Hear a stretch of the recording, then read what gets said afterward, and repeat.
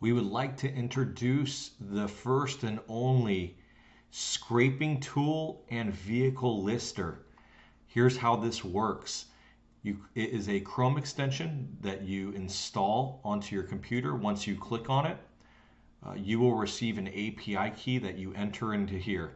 When this API key links with your dealership's uh, listing on AutoTrader, uh, and all you do is you click select vehicle, and uh, this is just an example.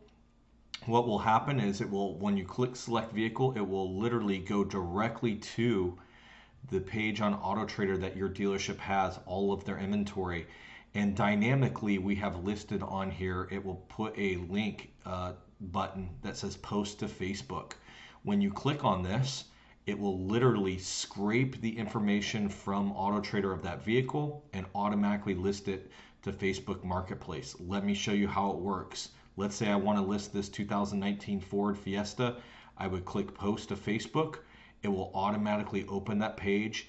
And what it is doing right this second is it is scraping this site for uh, the vehicles. It literally scrapes all the photos and all the information. And once it's done scraping, which takes a couple seconds, it will automatically open Facebook Marketplace. From Facebook Marketplace, it will start filling out the form immediately for you, as you can see, listing everything as far as the description, and it will literally load in every single photo here that is in uh, the dealership's link on AutoTrader. All you have to do is hit publish. This is a huge time saver. You can list a vehicle within about a minute. Saves a lot of time. You can also delete if you choose different uh, different items on there. Very very simple process.